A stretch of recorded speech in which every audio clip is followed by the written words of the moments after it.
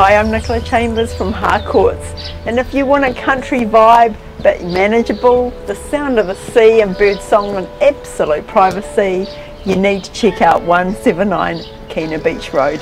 Let's have a look. The land is a manageable 1692 square metres.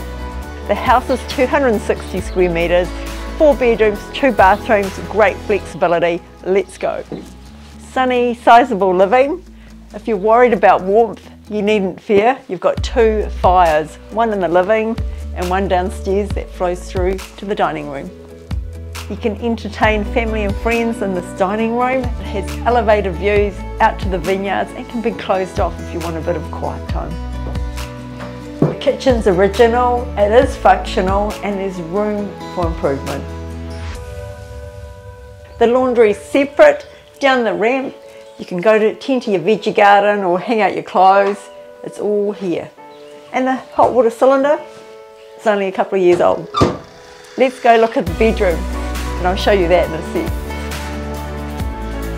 If you relish your sleep, we've got the dark night skies and the sound of the sea at night from this main bedroom.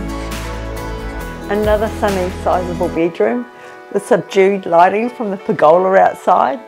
Great if you're sort of wanting to wake naturally with the sun.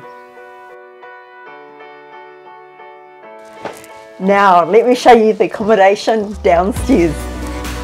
And on this level we have a bathroom, full bathroom, kitchenette, bedroom, and down the hallway, living and yet another bedroom. So this is the second bedroom downstairs. So two bedrooms down, two up, you've got your own space. And we have the second lounge. It's got the second wood burner that I was talking about. External access, great for family and guests. So if you want to live in a highly desirable Kina Peninsula location, you want flexible living and privacy, this is the one for you. I'm Nicola Chambers and I'd love to show you through 179 Kina Beach Road. And just look at the view. It looks so good out there.